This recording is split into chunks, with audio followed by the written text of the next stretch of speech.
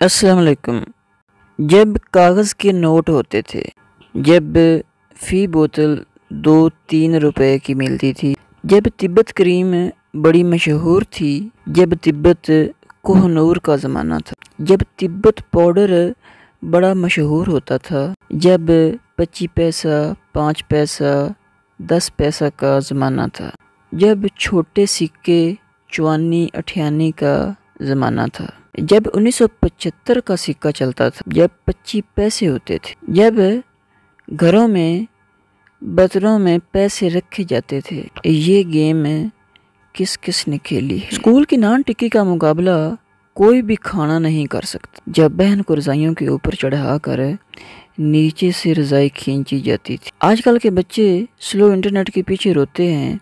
वो क्या जाने कि हमने ये दुख भी झीला है? कोका कोला फ़ी बोतल तीस पैसे की मिलती थी। बेरों से बेर तोड़े जाते थे। ये गेम किस किस ने खेली है? पूरी स्कूल लाइफ ख़त्म होने के बाद भी समझ नहीं आता था कि ये किस काम का है। जब शादी पर सारे गाँव के छोटे बच्चे चले जाते थे। किस किस ने अपने बचपन में ये खेला है? ये अजीम खेल किस किस ने खेला है? जब घरों में वीसीआर और टेप हुआ करती थी।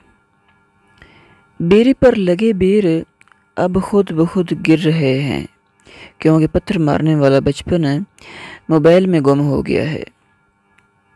क्या आप बचपन में ऐसे घर बनाकर खेलते थे?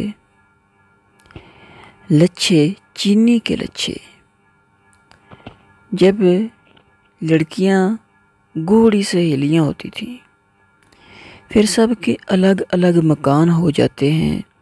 बहन भाई एक दूसरे के मेहमान हो जाते हैं। जब किसी शादी या मर्ग पे पड़ोसियों को अपने घर के कमरे, बिस्तर, चारपाइयाँ और बर्तन दे दिए जाते थे। जब पड़ोसी से पूछा जाता, मैं सब्ज़ी लेने जा रहा हूँ, आपने बाज़ार से कुछ मंगवाना तो नहीं? जब पोस्टमैन हमारा नाम पुकार कर हमारा ख़त घर की ड्योड़ी में फेंक जाया करता था। जब अपने बच्चों को किसी रिश्वतखोर पड़ोसी के बच्चों से दोस्ती करने से मना किया जाता था। जब बच्चे और बच्चियाँ अपने चचा मामू, खाला और पप्पो के घर जाकर एक एक दो दो महीने तक रहा करते थे।